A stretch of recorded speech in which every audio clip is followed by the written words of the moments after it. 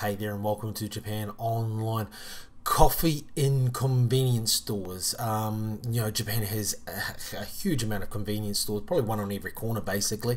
Um, and uh, over the last uh, few years, uh, you're starting to see the rise of coffee machines in, in, in every convenience store, um, making your various types of coffees from uh, the normal uh, blend coffee, regular coffee, to the uh, American coffee, uh, cappuccinos, uh, ca uh, cafe lattes, green uh, matchas, um, hot chocolate, and uh, and many other types. Where I mean, here we have this one here sort of shows you the um, the different types of blends you can get from strong to weak to more of a sweet kind of taste. and as you can see, the prices are not too bad either. So it's something that um, uh, you know myself I'm getting into because I love my sort of instant kind of coffee here, uh, and of this just is easy. I go in and get um, you know my typical uh, ham and cheese uh, sandwich or ice cream or something like that, and just want a coffee.